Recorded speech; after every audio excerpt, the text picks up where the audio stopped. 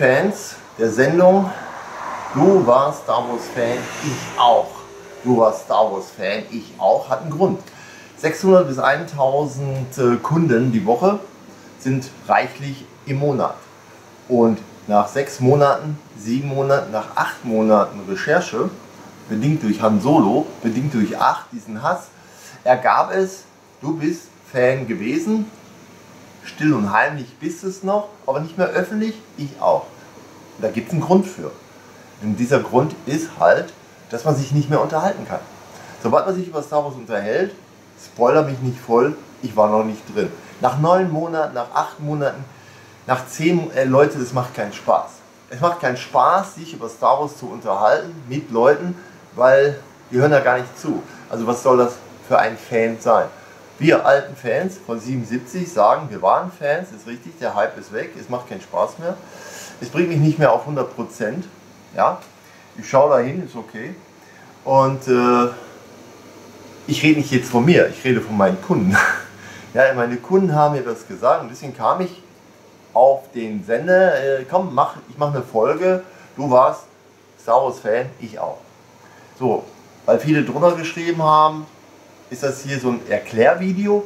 Hiermit erkläre ich die Sendung. Ich war Star Wars Fan, ich auch, weil es nicht mehr ist, wie es war.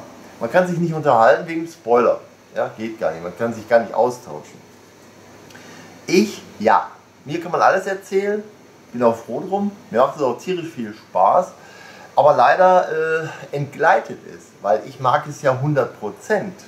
100% heißt alles. Alles. So, und der andere, nee, ich mag nur Flieger. Nee, ich sammle keine Figuren, ich trage nur diese Kluft. Äh, das sind immer so, so Abspeckungen.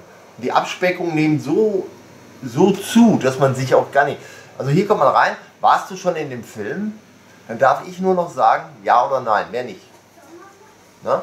So, und das kann es ja nicht sein. Das ist ja keine Unterhaltung. Also wenn ich jemanden frage, Emma, hast du den Wagen gefahren? Dann darfst du nicht sagen, äh, wie sondern nur, ja, habe ich gefahren. Also das ist ja nicht mehr normal. Also normal ist für mich, sich so zu unterhalten mit Star Wars, sich auseinanderzusetzen, mit den Figuren sich auseinanderzusetzen, mit den, nein, ist nicht mehr möglich. Also, es geht nur noch waschecht, was bekomme ich dafür? Was willst du dafür haben? Äh, ja? Oder man will mir was verkaufen, du kaufst du die an, ja? ich habe da was für dich. Gut, bei D. Augustini, ich habe mir ein Auge zugedrückt, habe es gemacht, das kostet mir 1200 Euro, bis ich den habe. Ja, 50 50 Tüten habe ich jetzt, ich brauche noch mal 50 Tüten. Mal 12 könnt ihr selber ausrechnen, wie teuer das ist. Also 1200 Euro kostet mir D. Augustini, der große Falke. So, dann setze ich mich da hin und schraube den und mache den fertig. So, nachher leuchtet er, die Klappe geht auf, die Klappe geht runter und so weiter und so fort. Vielleicht kann ich auch noch ein Soundmodul besorgen, das einbauen. Ist ja in so einem Modell möglich. Gut, so, dann stelle ich es riesengroß ins Schaufenster für 2,19 damit Kunden und so weiter. Mal gucken, was dann wieder passiert. Aber mir ist persönlich aufgefallen, anhand meiner Kunden, man kann sich über Star Wars nicht unterhalten, geht nicht. Äh, der andere sagt immer, du bist ja ein bisschen zu alt für Spielzeug. Ich meine, es kommt nur solche Resonanzen. Du bist zu alt für Spielzeug. Wieso, was sammelst du? Also, ich habe natürlich auch Kunden gehabt, die werden sicherlich auch mal wiederkommen, die Star Wars genauso mögen, wie ich es mag und man kann sich darüber unterhalten. Aber ist vorbei. Man kann sich über Star Wars, seitdem Disney es hat, nicht mehr unterhalten. Ist so. Äh, und das, und deswegen kommt die Sendung, wie gesagt, du warst Star Wars Fan, ich auch, weil die Lucas-Fans sind andere Fans wie die Disney-Fans. Ja? Die 40.000 Hasser, aber darum geht es ja nicht. Die äh, sind ja in Amerika und das sind Leute, die haben ein bisschen mehr Tatas, ein bisschen mehr Geld und die sehen Star Wars als Ware und verkörpern die Ware und versuchen die Ware auch wieder zu verkaufen, gewinnbringend zu verkaufen. Also sie sehen Star Wars etwas anders. So da, das ist ja wieder eine andere Sparte. Also Star Wars ist A bis Z, ja, alles Mögliche.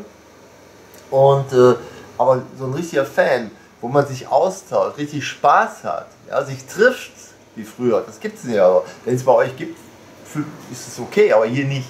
Hier trifft sich keiner. Hier bist, wir haben ein Kino angeboten, ja, 3D da wurde, äh, na, kein 3D. Also es geht immer dagegen. Also man bietet etwas an, hier Kino nur für Fans. Keine Resonanz. Es kommen keine Fans. Und wenn würden Fans kommen, von so weit her, dass wir obendrein noch äh, für diesen Kinoabend zusätzlich noch äh, ein Hotel anbieten müssen. Also utopisch. Alles, was man anbietet im Namen von Star Wars, wird utopisch. Ja. Äh, oder man muss so viel Geld mitbringen, dass es noch utopischer wird. Ist so. Äh, man, kann also sie, man kann also nicht mal irgendwo hin, äh, sich über Star Wars und so weiter und so fort. Und dann war es das. Ich meine, wenn man einmal so eine Art Museum gesehen hat, wie in, der München, wie in München-Gladbach, auf der Berliner Straße, äh, im ehemaligen König äh, Freibad oder Hallenbad, was jetzt dem Michael gehört, Martin. Und ja, ist nicht. Geht nicht. Das haben wir einmal gesehen und gut ist. Kann ich ständig dabei. Also wie gesagt, es sind äh, so kleine Mini-Grüppchen und das war's. So Star Wars ist nicht der Hype. Star Wars ist nicht die Masse. Star Wars ist wirklich im Verborgenen. Das meine ich damit. Du warst Star Wars Fan, ich auch. Ich bin 100% begeistert, das bleibt auch so.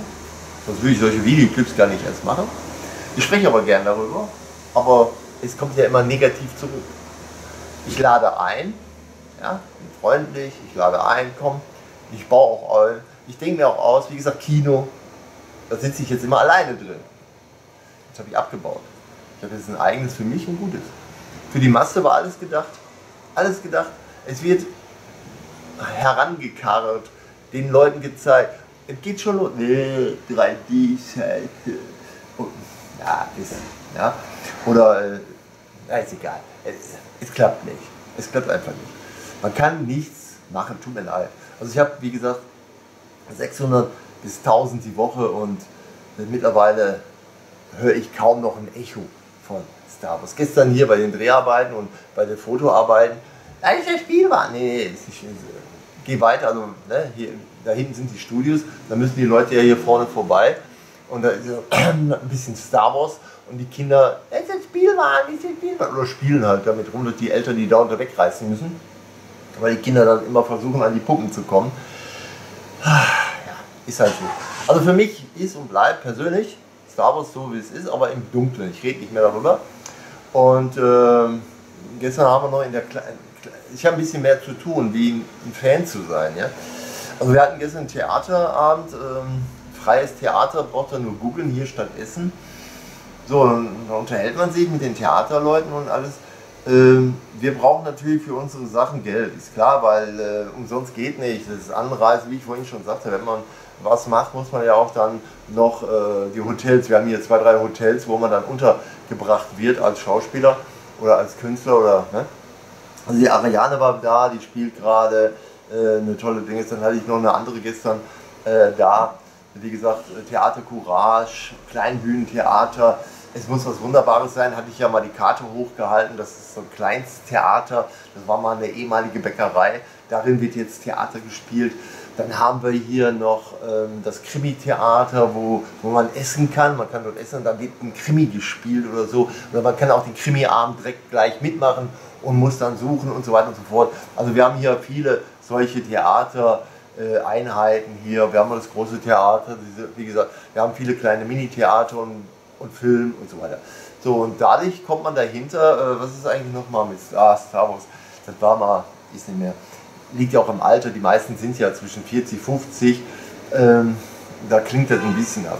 Wie das jetzt im unteren Bereich ist, weiß ich nicht. Diesen unteren Bereich habe ich nicht hier. Die vierte oder fünfte oder sechste Generation. Die sechste Generation, die gerade heranwächst, die äh, ist ein bisschen merkwürdig, also nicht diesen Hype da. Also, ähm, wir können auch kaum unterhalten über Rebels, über Res Resistance, was jetzt kommt, über Clone Wars. Ähm, 99, das hat unheimlich viel Spaß gemacht, da wurde wirklich über Clone Wars, ah, ich bin gespannt, wie die umsetzen, wie die die Kriege umsetzen. Ja? So, wenn ich jetzt gerade so einen Bericht lese über Jar Jar Binks, diesen Schauspieler, dass er sich äh, wirklich ne, weghauen wollte, und äh, Anakin, der Schauspieler, der ist ja auch in der Klapse. Ja, also, also der Erste, der Kleine. So, äh, umstritten ist 1 bis 3, umstritten ist halt Jar Jar Binks und all solche Sachen. Also, es hat ein bisschen, bisschen ist Star Wars nicht mehr äh, Star Wars, wie wir uns das vorgestellt haben. Star Wars ist uns ein bisschen entglitten.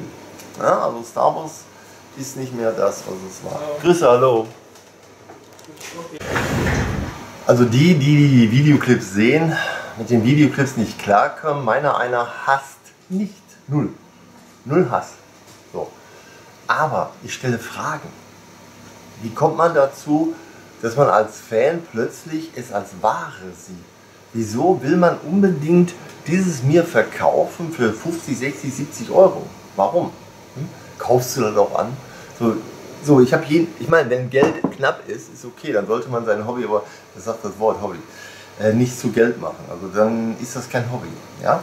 Also ähm, zum Beispiel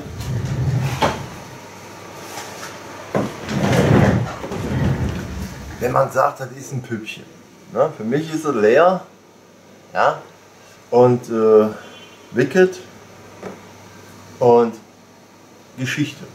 Und obendrein noch Forces of Destiny. Ja? So, das ist es für mich. Deswegen hat mir gefallen. Nein, ich war ziemlich euphorisch. Sehr euphorisch. Wie ich sie gesehen habe, wollte ich haben. Ich kam ja nicht dahin. Ich sehe ja alles. Ich bin ja Händler, noch einmal. Ich kriege so viele Produkte in die Hand. Und ich muss überlegen. Ich kriege jeden Tag einen Anruf aus Amerika oder aus England. Ähm, ich muss immer sagen, äh, stopp, Amerika sowieso. Das klappt nicht mehr wegen dem Zoll. Aber äh, Britannien geht ja noch. Ne? World of Warcraft, Star Wars, dieses Brettspiel, X-Wings. Ja? Es lohnt nicht, weil keiner da ist. Soll ich alleine spielen? Ich bin zu alt zum Spielen. Ja? Ich war ja der Meinung, dass man das mag. Ja? Ähm, wie gesagt, das hier ist ja eine äh, Giftzentrale, also eine Geschenkzentrale, steht ja überall.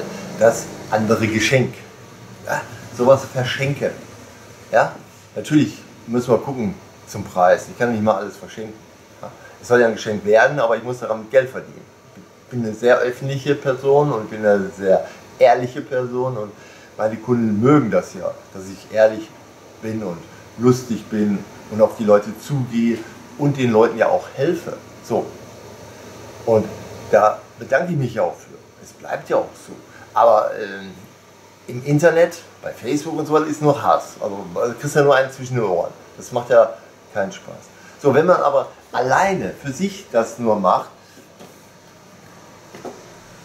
und sich darüber nicht unterhalten darf, da fragt man sich,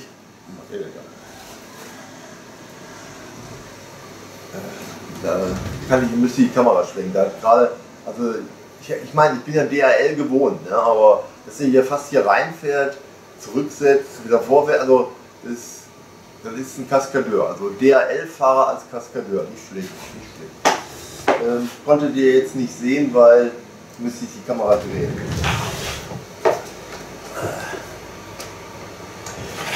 Wie gesagt, wenn ihr mit solchen Videoclips nicht klarkommt, sagt es. Das sind so, das sind meine, das sind so meine Ideen. Ja? Und ich habe ja wie gesagt jeden Tag damit zu tun und äh, als Händler kriege ich andere Informationen, wir reden auch ganz anders.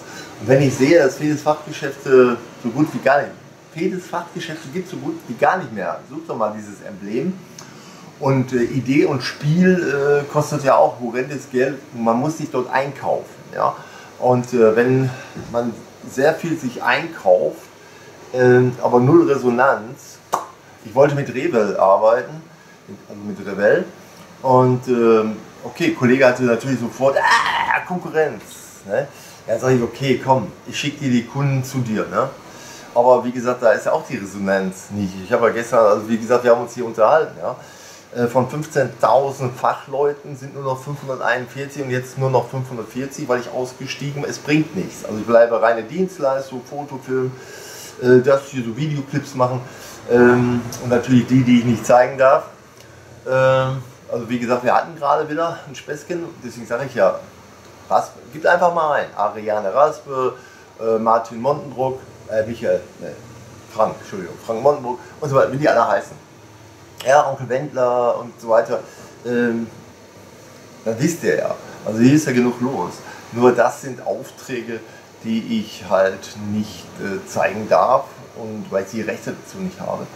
Ähm, wie gesagt, wir haben uns gestern noch über ZDF, da habe ich gesagt, nein, ich habe alles vom ZDF dir gegeben, du hast alles. Ähm, such mal nach, du hattest nur mehrere Sticks und auf irgendeinem Stick ist es. Ja, also wir haben E-Casting, E-Casting geht so, man stellt sich vor ne, und spricht dann, wenn man ist und dann dreht man die Rolle und damit stellt man sich dann vor, ob nur bei Bitburger, ähm, Lenz, ne, plöpp, plöpp. Also wir haben sehr viele spaßige Sachen hier gehabt, Mädchen ohne Hände noch einmal und diesen Mitternachtssommer-Film, habe ich auch noch keine Resonanz drüber gehört, sage ich ja. Ähm, das sind also so Sachen, jeder ist irgendwie für sich und so weiter. Wenn ich einlade, ich möchte einen Film machen, ähm, ist so teuer. Also wie gesagt, Filme machen, also wir haben gestern noch darüber ge gesprochen, der Till Schweiger hat uns 750.000 Euro äh, leider weggeschnappt. Ne? NRW sponsert nämlich auch für Jungs äh, Theaterleute und so weiter. Da gibt es äh, so eine Art Foundation, wo man Geld abziehen kann für seine Projekte. Und äh, ohne geht ja nicht. Ich, kann ja nicht ein paar Schauspieler hier für laufende Kamera setzen, äh, die anreisen, das geht nicht. Äh, um was Tolles äh, zu machen, muss man auch bereit sein, etwas zu opfern. Und meistens ist es ja halt Geld. Ne? Also Geld muss man opfern, das muss man aber erstmal verdienen.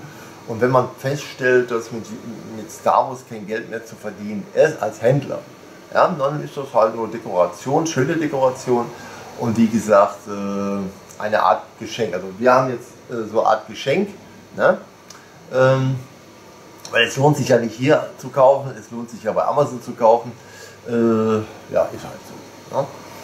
Ja, also anbieten muss man nichts mehr, weil geht auch ruckzuck. Infinity zum Beispiel. Infinity ist, ist ja nicht mehr. Infinity gibt es nicht mehr. Haben wir noch genügend Figuren hier. Ja?